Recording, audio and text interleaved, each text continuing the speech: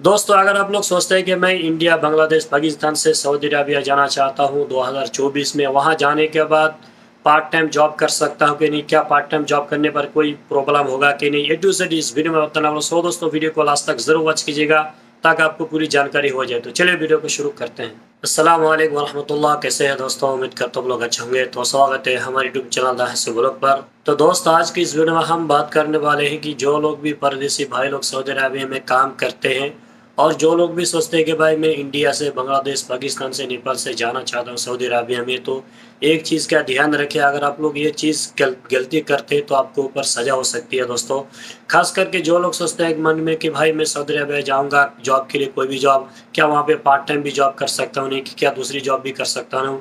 आपका कहने का मतलब ये है कि भाई जैसे कि कोई कंपनी में काम करते फिर अगर आप सोचते हैं कि भाई वहाँ काम करने के बाद मैं दूसरी और जगह में जॉब करूँ तो क्या प्रॉब्लम होगी कि नहीं? सजा है नहीं है ए टू जेड इस वीडियो में बताना दोस्तों, वीडियो को लास्ट तक ज़रूर वॉच कीजिएगा, ताकि आपको पूरी जानकारी हो जाए। तो चलिए वीडियो को शुरू करते हैं। तो शुरू करने से पहले आपसे छोटी सी रिक्वेस्ट अगर आपने हमारे चैनल दाह से बोलो को अभी तक सब्सक्राइब नहीं किया तो पहले दोस्तों चैनल को सब्सक्राइब कर लीजिए और एक लाइक ज़रूर कर दिया दोस्तों। तो चलिए वीडियो को शुरू करते हैं। तो दोस्तों, जैसे कि मैं बता दूँ कि 2024 में जो लोग भी आते, आने वाले हैं, इन्हें अगर आप लोग सोचते हैं कि भाई मैं सऊदी अरबिया जाना चाहता हूँ 2024 में, कोई भी जॉब के लिए आते हैं, आप ठीक है, जैसे कि आपका प्लम्बर्स का काम हो गया, चाहे आप सुपर मार्केट के लिए आते हैं या होटल के काम के लिए आते हैं या क्लिनिक के जॉब के लिए आते हैं, कोई भी जॉब करने के लिए आते हैं, अगर आप लोग सोचते हैं कि मन में कि भाई वहाँ जाने के बाद जैसे कि आठ घंटा ड्यूटी होती है, आठ घंटा के बाद मेरा टाइम खलास हो गया तो फिर मैं कहीं दूसरी जगह में जॉब कर सकता हूँ, नहीं पार्ट टाइम जॉब कर सकता हूँ, नहीं, पैसा कमाने के लिए।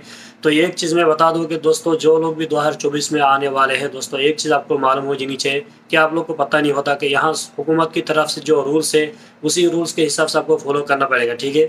यहाँ का जो कानून है, ये कानून के मैं बता दूँ कि जो काम के लिए आते हैं, आप उसी जॉब कर सकते हैं। इसके अलावा पार्ट टाइम बोले तो कुछ नहीं कर सकते आप लोग, ठीक है? एक चीज़ का ध्यान हो जाना चाहिए।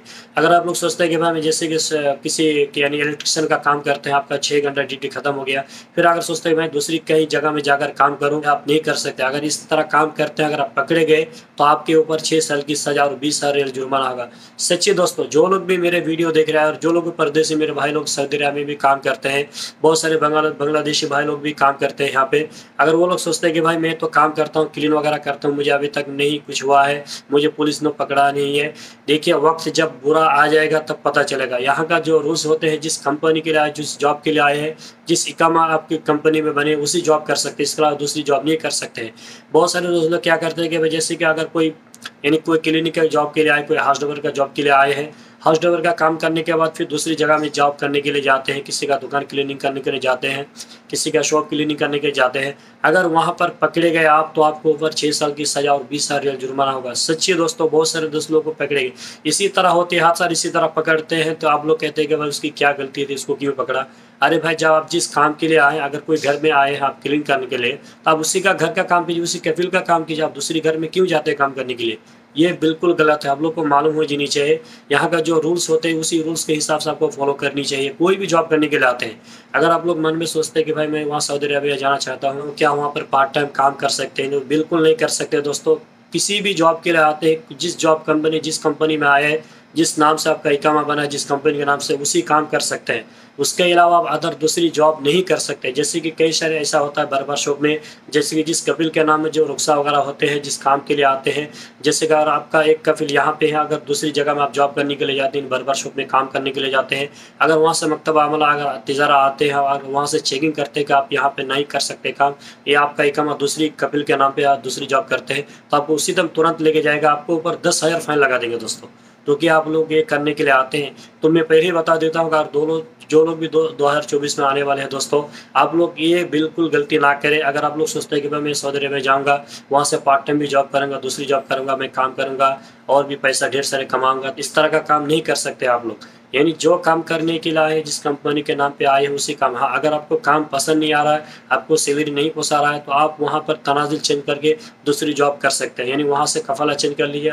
आप बोलेगे, मुझे ये जॉब अच्छी नहीं लग रही, मैं दूसरी जॉब करना चाहता हूँ। फिर वहाँ से कफला चेंज कर लिए जिस जॉब के लिए जाते हैं, फिर वहाँ से सब कुछ रेडी हो जाएगा। फिर वहाँ पर जॉब कर सकते हैं। इसके अलावा अगर आप लोग पूछते हैं कि भाई, हम जिस कंपनी में जाएँगे, वहाँ से फिर दूसरी पार्ट टाइम जॉब कर पाएँगे कि नहीं? तो ये आप बिल्कुल नहीं कर सकते दोस्तों। आपके ऊपर बीस साल जुर्माना और छह साल की सजा भी हो सकती है दोस्तों। ये थी जानकारी क्योंकि बहुत सारे दोस्त लोग इसको हल्के में ले लेते हैं कि भाई, यार, कुछ नहीं होता है, इतना साल से काम कर रहा हूँ। अरे भाई, जो लोग भी रात दो, तीन बजे, ढाई बजे यानी छुप छुप के काम करते हैं तो ये बिल्कुल गलत है दोस्तों। आप लोग इस तरह काम ना करें। जो लोग भी परदेसी मेरे भाई लोग काम करते हैं सऊदी अरबिया में, आप लोग इस तरह का बिल्कुल गलती ना करें कि अभी भी बहुत चेकिंग चल रहा है। कहीं से भी चेकिंग का कोई इन्फॉर्मेशन नहीं देता कि भाई यहाँ पे जो जिस काम के लिए आए, उस जॉब छोड़ के दूसरी जॉब भी करते हैं तो आपको सब तुरंत एक्शन लेगा, आपको वहाँ से पकड़ भी लेके जाएगा सुरता पुलिस, ठीक है? तो ये थी जानकारी। वीडियो पसंद है तो दोस्तों चैनल को सब्सक्राइब कर दीजिएगा लाइक कीजिएगा शेयर कीजिएगा और कमेंट करके ज़रूर बताइएगा दोस्तों, ठीक है? तो चलिए नेक्स्ट मिलते हैं। असल वरहमल वर्क